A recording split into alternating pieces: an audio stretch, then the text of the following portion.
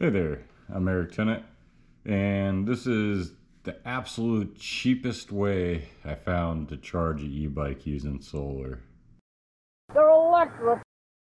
So I just got a simple, this is uh, one of my flexible panels. It's, uh, it's called a Daiku solar panel.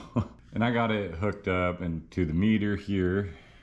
And then from the meter, it goes to this little boost step up uh, controller uh, you're able to control the output voltage and supposedly the how much amps it puts out. And then from there, I got it hooked up just to a just a simple little toggle switch. This isn't needed, but I like to use it just in case something goes wrong. I can hit the switch and turn it off real quick.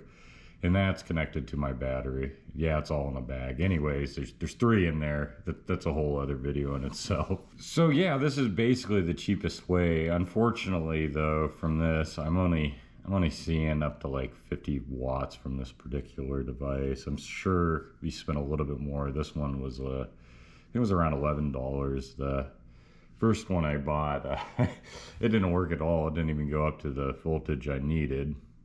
This is the second one I've tried now, so I'm getting, I'm able to get about half off the solar panel and it's probably losing about 10 watts in the conversion over. This thing is not efficient whatsoever be much better off to go with uh, the one pound silver one, as I call it. Or if you really got the money, uh, go with one of the Genasuns. They're, they're quite a bit pricey. They're up in the $200 range, but they are by far the lightest. Um, you have to buy one for each, each type battery, where with the one pound silver, you can set this thing from anything, I believe, from like 24 volts, uh, I believe up to 60 Unfortunately for you 72 volt guys, that, that won't work for you. So the battery is what I consider to be a solar battery, which just means is it has a common charge and discharge cable. I upgraded these myself using a Daly bms to make them a solar battery.